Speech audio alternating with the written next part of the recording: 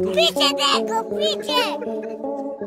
दोस्तों, आज की इस सोशल मीडिया के जमाने में हर दिन कुछ न कुछ वायरल होते रहते हैं। ये सोशल मीडिया कितना पावरफुल है, ये आज किसी को बताने की ज़रूरत नहीं है। चाहे तो सोशल मीडिया रातों रात किसी को फ़ेमस कर सकते हैं। और आज हम इस वीडियो में बात करने वाले हैं पिछले साल, यानी 2022 की ऐसे ही रातों रात फ़ेमस होने वाले कुछ सिंगर्स के बारे में, जो आज एक सेलिब्रिटी बन चुके हैं। जिनके पास आज लाखों करोड़ों फ़ैन फॉलोइंग मौजूद है। तो चलिए देखते हैं कौन कौन है इस लिस्ट में और ये कैसे रातों रात ऐसे वायरल हो गए।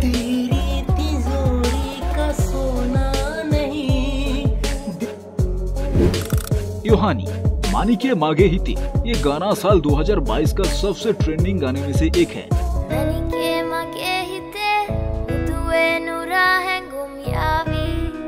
ये गाने का मतलब जो भी हो, लेकिन ये सुनने में काफ़ी मज़ेदार था। ये गाना 17 अगस्त साल 2021 को पार्व मिश्रा नाम की एक यूट्यूब चैनल पर अपलोड किया गया था। लगभग 10 करोड़ से भी ज़्यादा लोग ये गाने को देख चुका है। ये गाना इहानी और पर्व मिश्रा दोनों ने मिलकर गाया था। हालाँकि ये गाना साल 2021 में अपलोड किया गया था, लेकिन साल 2022 में ये गाना काफ़ी वायरल हो गया था और सिर्फ़ एक गाना गाकर यूहानी काफ़ी फ़ेमस हो गए। श्रीलंका के रहने वाले यूहानी 29 साल की हैं और आपको जानकर हैरानी होगी कि इस गाने को सिंगली लैंग्वेज में गाया गया है। तो इंडिया की ज़्यादातर लोगों को इस लैंग्वेज का पता ही नहीं है।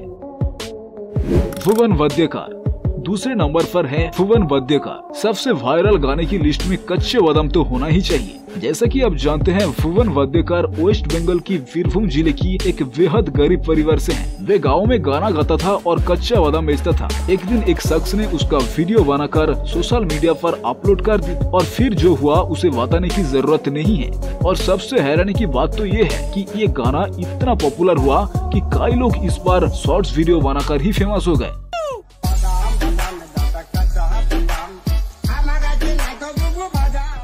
जिसकी वजह से बड़े बड़े यूट्यूबर्स उन्हें मिलने के लिए लाइन लगाते थे। कई लोगों ने उन्हें पैसा भी दिया, जिसकी वजह से ये आज एक अच्छी ज़िंदगी जी रहे हैं। बीच में तो ये भी सुनने में आया था कि भुवन काका, यानी हमारे भुवन चाचा, एक सेकंड हैंड गाड़ी खरीद कर उससे एक्सीडेंट करके अपना पैर तोड़वा लिया था। लेकिन आज ये बिल्कुल ठीक है और अच्छे हैं।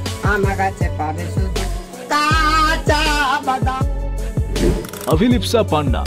नंबर तीन पर है इस साल की काफ़ी पॉपुलर सिंगर अभिलिप्सा पांडा। शायद आप इनके नाम नहीं जानते होंगे, लेकिन आपने हर हर संभू इस गीत को कम से कम एक बार सुना ही होगा।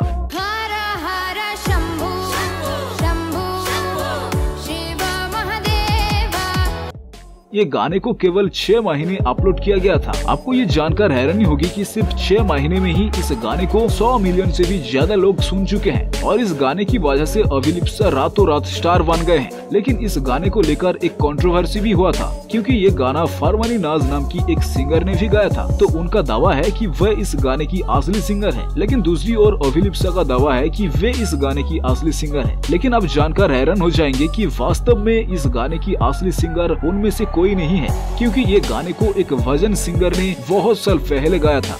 दोस्तों, जो भी हो, चाहे इसकी असली सिंगर कोई और है, लेकिन अभिलिप्सा का ये वर्जन लोगों को काफ़ी पसंद आया। मोहम्मद फैज, इस सिंगर को अपने रियलिटी शो में ज़रूर देखा होगा। फैज का आवाज़ काफ़ी बेहतरीन है। जब ये केवल पाँच साल के थे, तब से वे गाना गा रहे थे, लेकिन सुपरस्टार सिंगर की सीज़न टू में उन्होंने काफ़ी नाम कमाया। जहाँ उनका पहला गाना खामोशिया बहुत वायरल हुआ था। हर कोई ये गाने को बार बार सुनना पसंद कर रहे थे।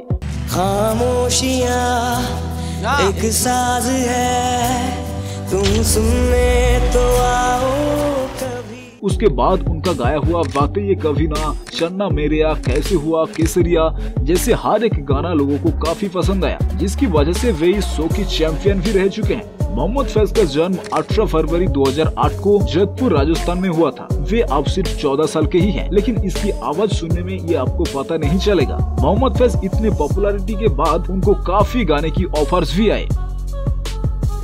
प्रांजल विश्वास सोशल मीडिया पर ये नाम काफ़ी पॉपुलर है। इसका आवाज़ सुनकर आप इनके फ़ैन हो जाएँगे।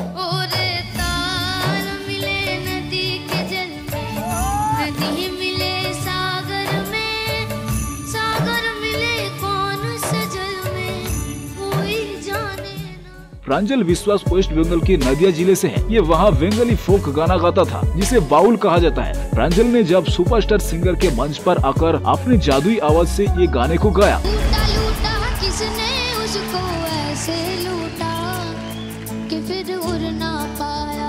तो ये गाना रातों रात वायरल हो गए। दोस्तों प्रांजल अब अपने गाँव पर अपने परिवार के साथ हैं। कुछ महीने पहले प्रांजल एक बेंगली फ़िल्म में गाना भी गा चुके हैं। सृष्टि तावड़ी नंबर सात पर है। इस वक्त की सबसे ट्रेंडिंग में चल रहे महिला रैपर सृष्टि तावड़ी। उन्होंने एक ही रैप गाकर रातों रात वायरल हो गए। उन्हें इंडिया की पहली महिला रैपर माना जाता है जो इतना पॉपुलर है। ए ए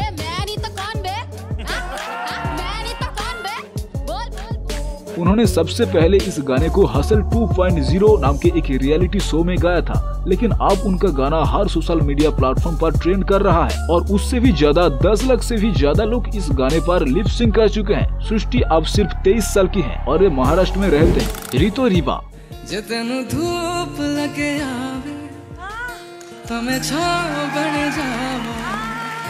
तेरी खुशियों के खातिर सारे जग से लड़ जाओ नंबर आठ पर है रितो रिबा दोस्तों, रितो रिबा ये नाम 2022 में काफ़ी चर्चे में रहा। रितो रिबा अरुणाचल प्रदेश से हैं और वर्तमान में ये सिर्फ़ 24 साल की ही है, जिन्हें इंडियन आइडल से निकल दिया गया था। अगर आप सोशल मीडिया पर एक्टिव रहते हैं तो उम्मीद है कि आपने उनका गाना ज़रूर सुना होगा। लेकिन इतना अच्छा गाने के बाद भी उन्हें इंडियन आइडल से बाहर कर दिया गया था। लेकिन इसके पीछे एक दिलचस्प कहानी है।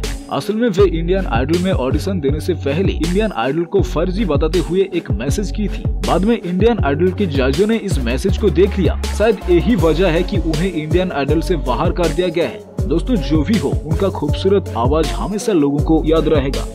तो दोस्तों, आज के वीडियो में इतना ही। मिलेंगे अगले किसी नए वीडियो के साथ।